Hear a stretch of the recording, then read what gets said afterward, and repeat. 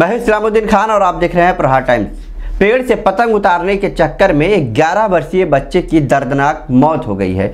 मुंब्रा के बिलाल अस्पताल के सामने रोड के डिवाइडर पर एक पेड़ पर पतंग फंसा हुआ था और उस पतंग को उतारने के लिए 11 वर्षीय बच्चा, जिसका नाम सागर सुरेश चौहान था, पतंग उतारने के लिए वो बच्चा पेड़ पर चढ़ गया। मगर सागर उस पेड़ से नीचे रोड पर गिरा और सामने से आ रही ब्लोरो पिकअप की चपेट में आ गया, जिसकी वजह से उसका एक हाथ फ्रैक्चर हो गया। और अंदरूनी चोट ज़्यादा लगी थी। बच्चे को प्राइम अस्पताल में भर्ती किया गया है, जिसके बाद उसे कलवा शिवाजी अस्पताल रेफर कर दिया गया। बच्चे की मौत हो गई। खरडी रोड के नियाज कंपाउंड का रहने वाला था और सागर की मौत से नियाज कंपाउंड में सन्नाटा फैला हुआ है। उसके परिवार वालों का रो रो कर बुरा हाल है। परिवार वालों ने बताया कि अपने एक साथी के साथ सागर खेलने के लिए घर से निकला था, मगर बिलाल अस्पताल के पास उसे एक पेड़ पर पतंग फंसा हुआ दिखाई दिया और उसे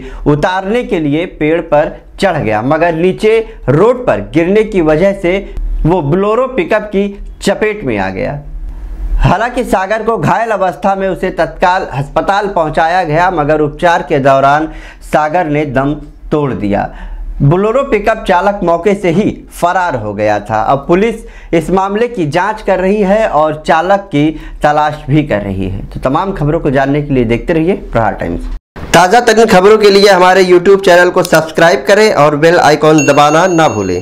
अगर आप फेसबुक पर देखते हैं तो हमारे पेज को लाइक करें।